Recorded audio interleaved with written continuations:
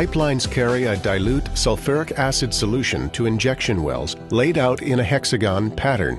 There is very little disturbance to the surface and no tailings or waste rock is generated.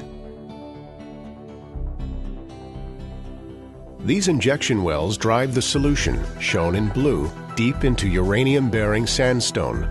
The solution mixes with the sand where it oxidizes and mobilizes the uranium.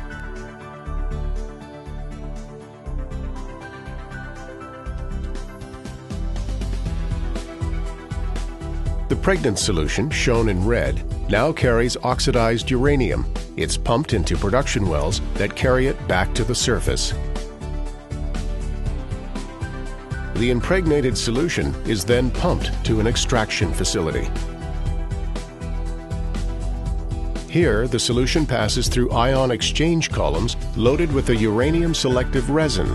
The barren solution is separated for reuse. The resin enters a stripping facility where uranium is separated using ammonium nitrate. The uranium-rich solution is loaded into tanks for precipitation.